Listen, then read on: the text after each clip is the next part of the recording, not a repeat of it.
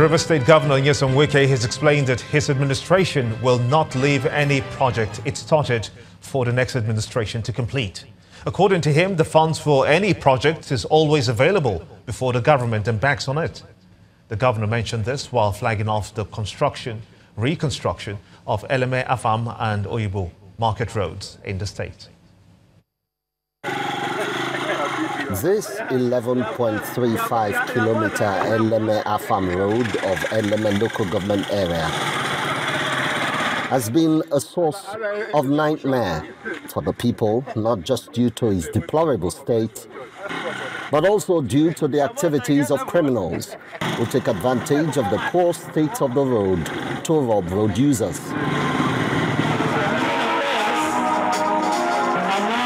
That is why these men, women, and youths are gathering for what is for them a big day the flag off of its reconstruction.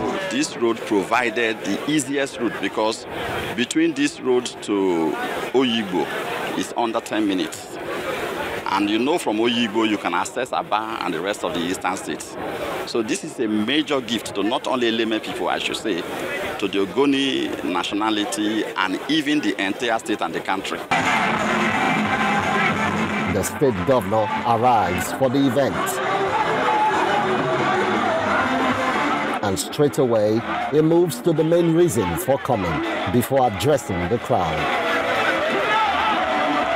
I have come because you have fulfilled your own promise of giving us the mandate to contribute to the development of this state. Having fulfilled your own promise, it's our own turn to fulfill our own uh, promise. And we have come today to fulfill that promise which we made to you before we came into office.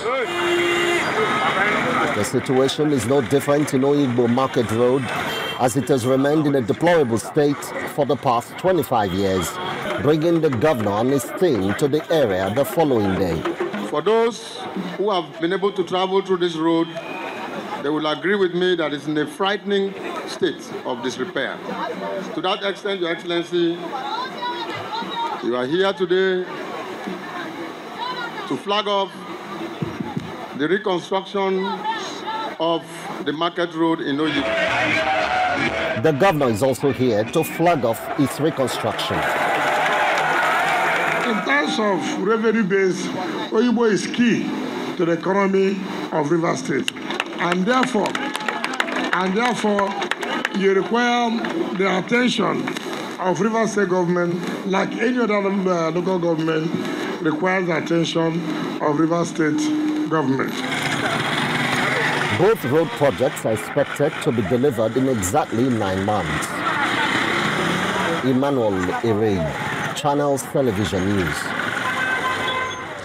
Ahead of the 2019 general elections, young people in the southern part of the country are being encouraged to play active roles in the country's political system in order to experience the wind of change they so desire. That's what's the crux of the discussions at the 2018 Southern Young Leaders Conference for Political and Economic Consciousness in Enugu, organized by the Nigerian Young Professionals Forum. Speakers at the conference are also asking eligible youth to ensure that they register for the elections and get their permanent voter cards. These are young professionals from the southern region of the country. Kind of personalities that we have here today. They are here to share their thoughts on how to awaken the political and economic consciousness in the younger generation, particularly those from the southern region. The convener of the group sets the tone for the event, bemoaning the place of the youth in Nigerian politics. We want a, a situation where all the young leaders within southern Nigeria will strategically come up with a document of youth inclusion, youth participation, on how we are also going to you know, participate in a modern and emerging democracy that we have in our country today. Other guest speakers at the event also see the need for the youth to wake up and change the paradigm by taking part in the continuous voters registration and join in making constructive criticism. You have a stake in the project called Nigeria. It affects every one of us. So you don't have voter's card, you're not interested in joining a political party. We must take take up the the burden that is resting on our shoulders. And that is by getting serious and the decision to get fully involved. For some others, for a new Nigeria to be birthed, there's a need for the youth to seek mentorship and be guided by the good leaders.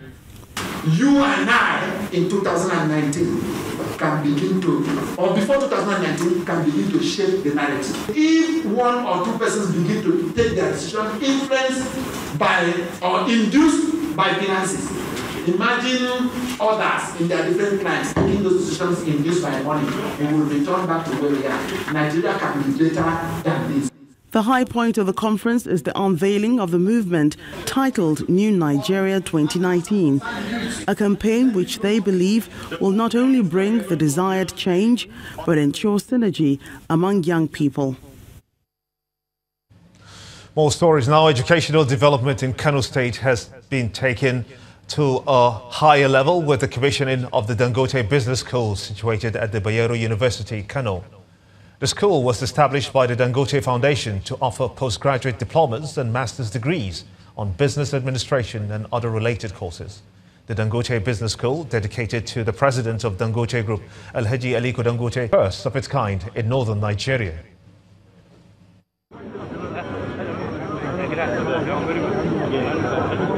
It comes as a boost to the Nigerian education sector, the inauguration of the Dangote Business School in the Bayero University, Kano.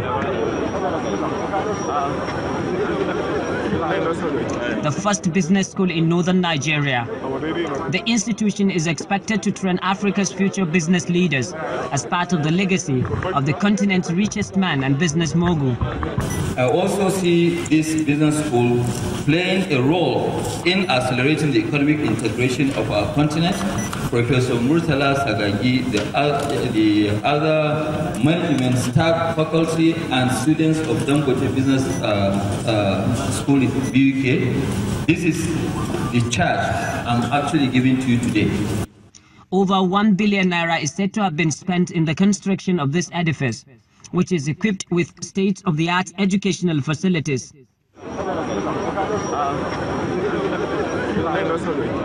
For the Emir of Kano, Muhammad Sanusi II, the Dangote Business School is a welcome development. He calls on others to emulate the Dangote Foundation. The government and the public sector have been the ones who educated a population. They can make an environment for wealthy individuals wealthy Nigerians, wealthy, wealthy individuals of Kano investing in education. That is how you educate a population.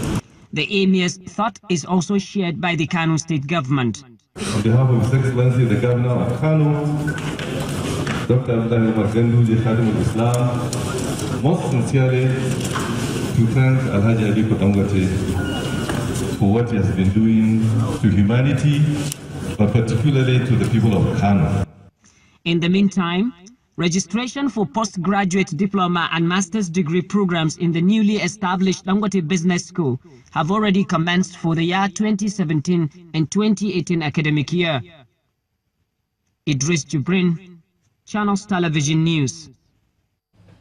Efforts by local government areas in Niger State to improve the lives of the people at the grassroots may have been boosted with a grant of 750 million naira by the state government.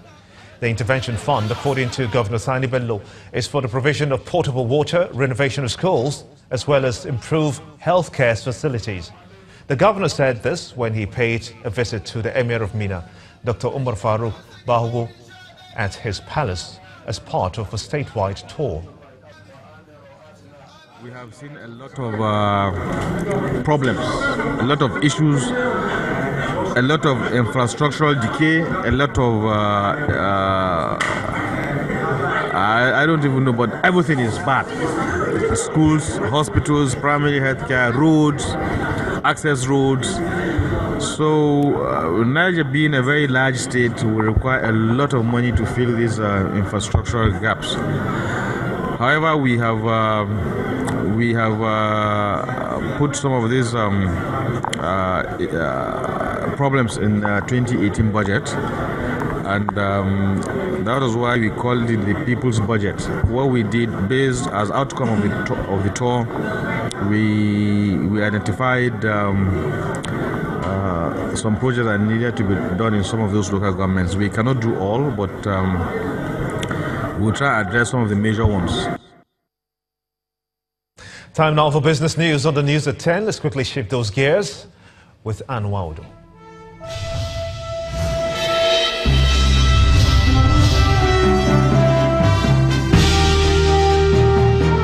Thanks a lot, Gimba, and welcome to Business News. President Muhammadu Buhari is expected to commission Nigeria's focus laboratories for the implementation of the Economic Recovery and Growth Plan on March the 12th, 2018. Focus Labs are a convergence of potential investors and policymakers for economic development.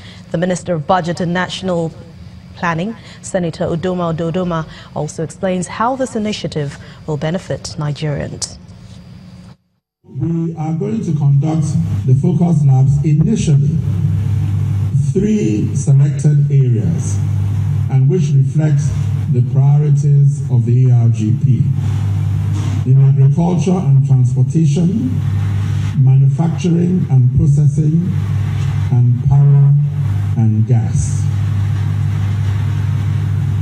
So at the lab, we will focus on delivering quick and fast results.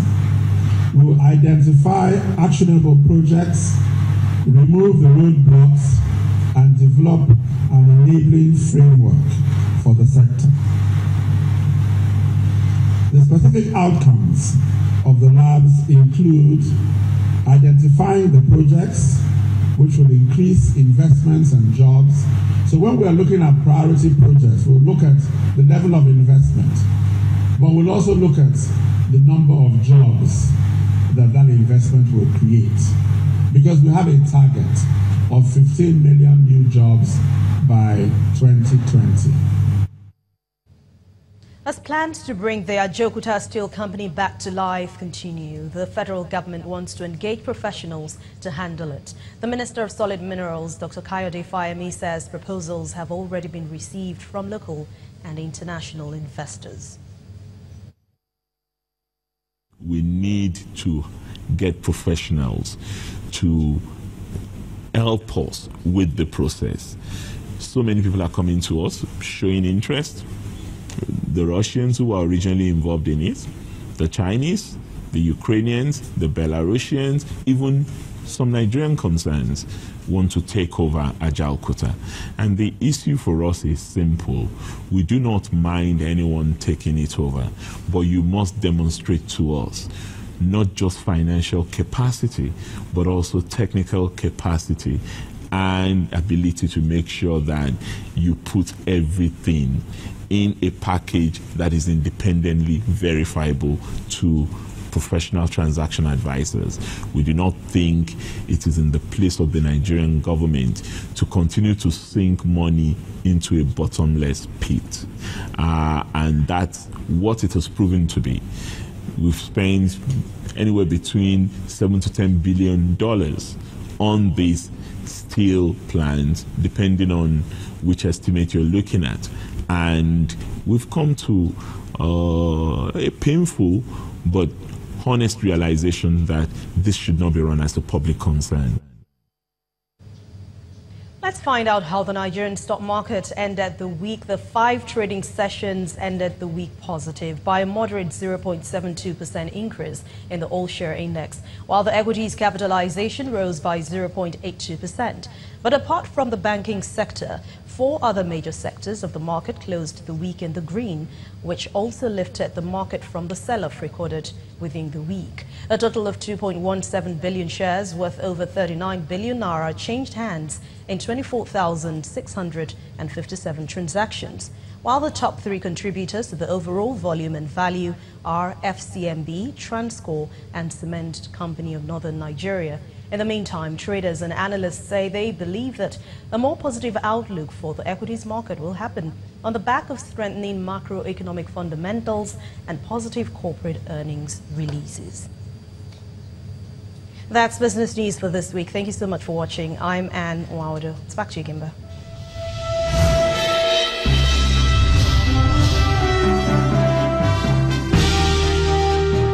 Still ahead on the news at 10, video assistant referee VAR to be used at this year's World Cup in Russia after the International Football Association Board voted to approve the technology.